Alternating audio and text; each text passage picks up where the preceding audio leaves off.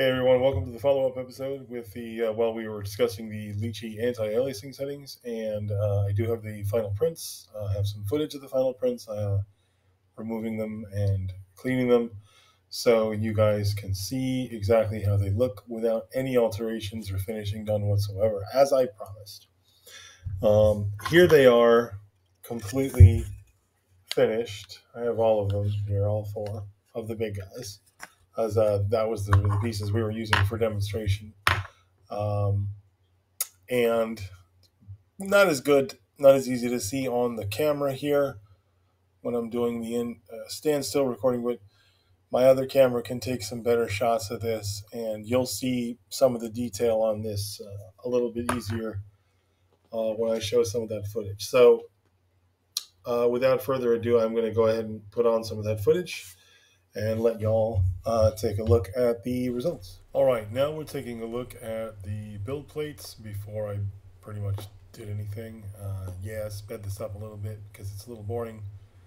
You don't really get to see what I'm doing because that's off camera to the, to the left uh, of, what I'm, of where the stuff is sitting. So that first batch there, smooth surface 30%, 2 pixels, HD off. One next to it's the anti-aliasing off. And then we have the smooth surfaces 4 pixel 50% HD on. And then above that is the smooth surfaces 2 pixel HD on 30%. Uh, I just didn't, the card is not in camera's view at the moment. Although I'll put it down in a second. Maybe. Anyway, like I said, this takes a minute. We break all this stuff out of the supports. And then I'm just going to do the actual visual comparison once I put these through the cleaning and the curing process. Okay, here we are. Now I went ahead and labeled everything, put them in bags, and made sure that I knew exactly what I was looking at because I didn't want to confuse myself later, nor did I want to confuse anyone else when I was doing the visual comparison. So each bag has uh, the individual uh, little card there that has the type of aliasing that was used. First one I pulled out here is the no anti-aliasing. Um, I don't know how well you're going to be able to see it on the camera, but the no anti-aliasing version actually has some really wicked layer lines right there towards the nose. Um, I expected this.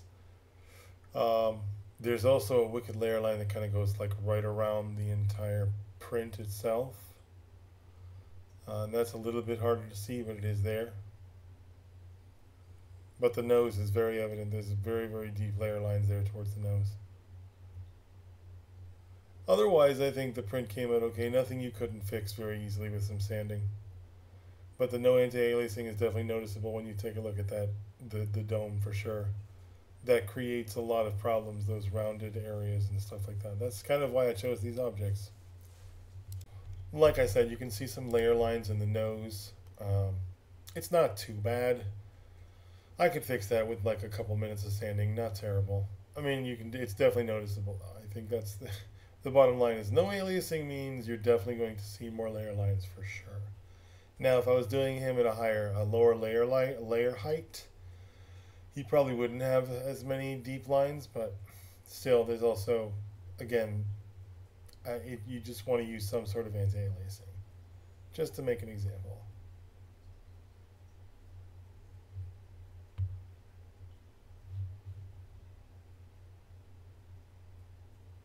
This next one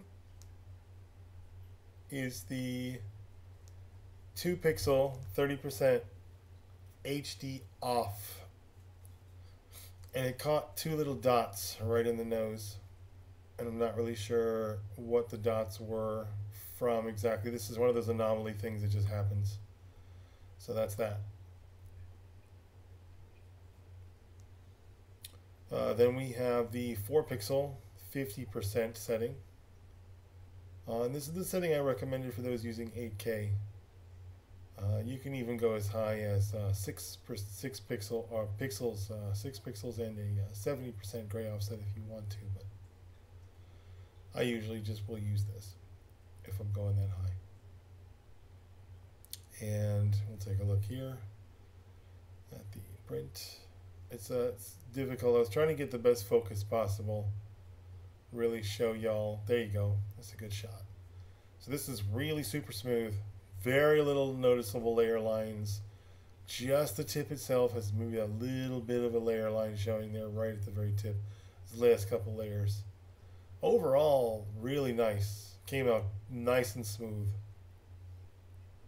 Nice and smooth. That, that is, again, that's the settings are 4 pixels and 50% gray with the HD on. So maybe the HD does make a little bit of a difference um, when it comes to how that's going to work. So I don't know. This one is the 30% 2 pixels HD on. And this is the setting I usually use just to give you all an example.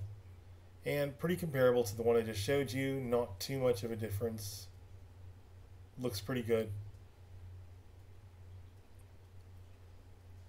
So the two best ones, in my opinion, are the 2 pixel 30% HD on and the 2 pixel 50% HD, or sorry, 4 pixel 50% HD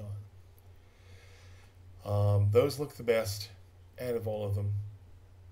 Uh, the no AA has wicked layer lines going on. The HD off does seem to make a little bit of a difference.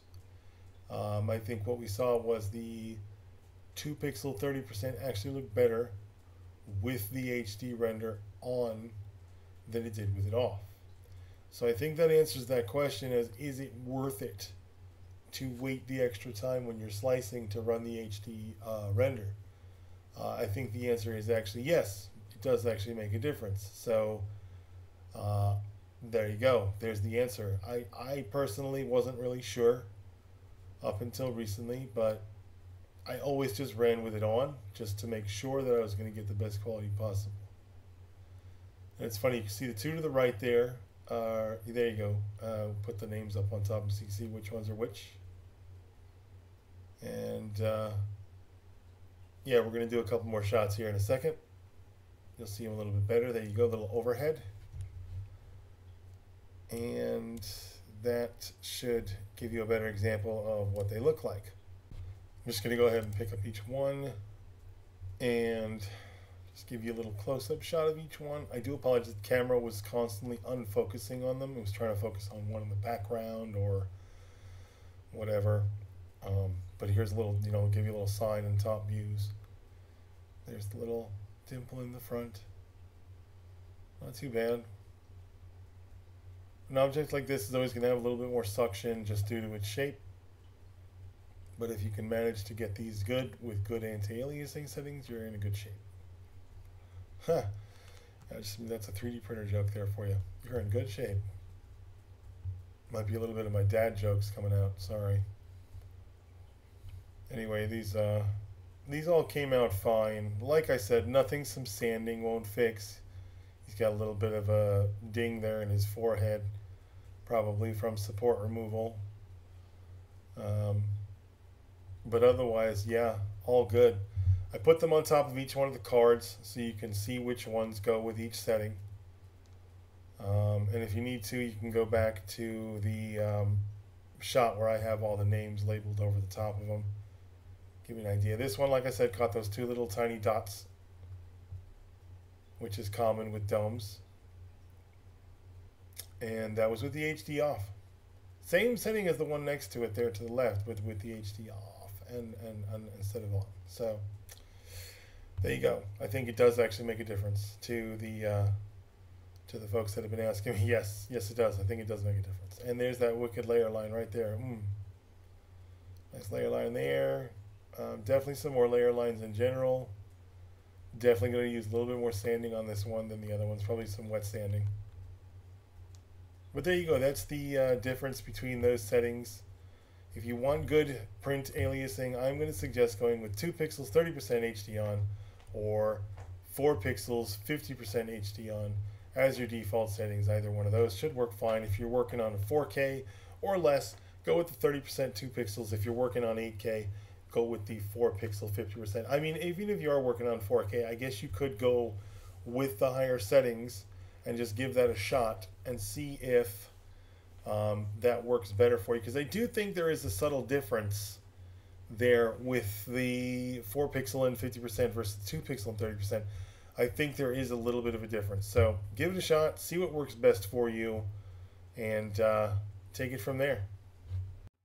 Anyway, that's it for this two part episode on Lychee's anti aliasing settings, and I hope that this helped explained how the settings work and how they can work to benefit your prints.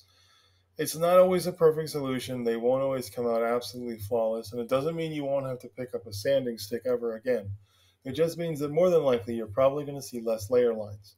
Now remember, if you reduce your layer height and you make the layers thinner, you're probably going to see them less anyway. So this is also something you can think of accompanying along with your aliasing settings to reduce the layer lines that are visible on your actual print when they're done. I hope this helped a bunch of you, and if it did, great. Please don't forget to smash that like button as well, and and also if you're not subscribed to the channel, please do subscribe. It does actually help us quite a lot. We are planning a lot of new content in the next year, and we hope to grow the channel continuously as we do. We thank you guys so much for the support. And um, as in case anyone hasn't noticed, we did finally reach a thousand subscribers, which is awesome. Thank you all so very much for helping us get there. See you all real, real soon.